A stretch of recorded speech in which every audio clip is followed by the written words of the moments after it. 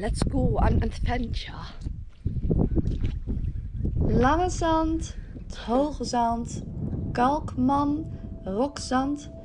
Nee, zo noemen we het onbewoond eiland niet. Op de zeekaart uit de 17e eeuw wordt de naam Engelsmanplaat voor het eerst genoemd. Alleen hoe de plaat uit zijn naam is gekomen is niet helemaal duidelijk. Er gaan namelijk twee verhalen rond.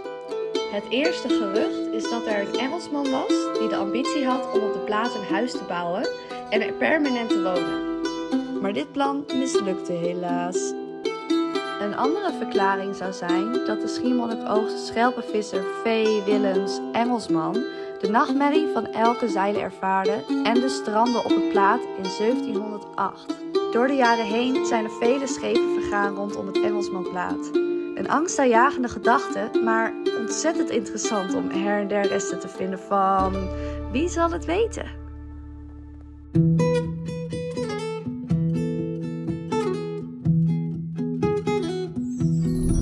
Kijk eens over naar hebben. Hij heeft eigenlijk zo van de eerste. Ja. Oh, en nu is het gewoon haai.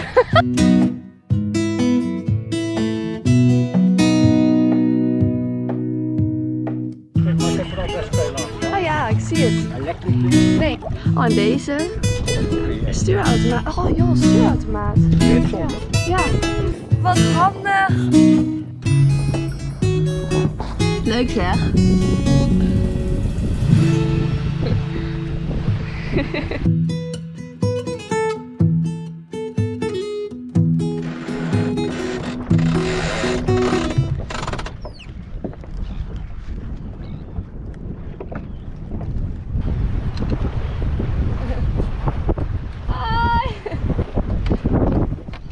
Hebben jullie de zeehonden vanochtend gezien? Ja, alleen het hoor je daar. Oh echt? Er waren superveel hier. Echt? Ja. Ja, heel vroeg. Om 9 uur. Lil update. We zitten vast. Ik dacht dat ik goed zat. Hier zit dat gultje. Ik zie de ponton. Maar we zitten vast. Nu de vraag, ga ik van boord springen? Of komt het water nog omhoog?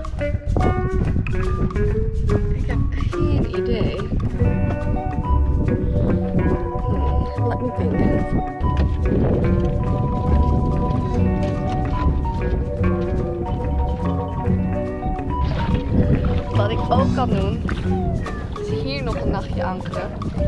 En dan eh, morgenmiddag weggaan. Lekker gitaartje spelen.